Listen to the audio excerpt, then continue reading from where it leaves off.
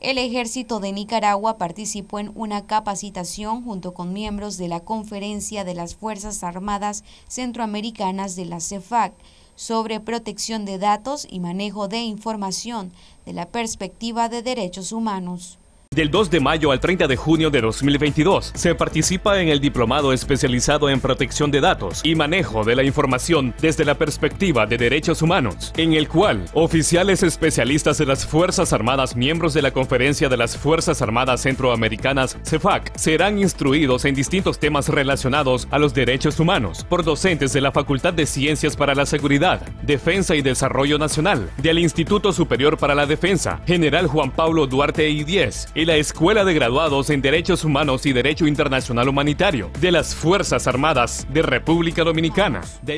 Para Noticias 12, Gabriela Solorza.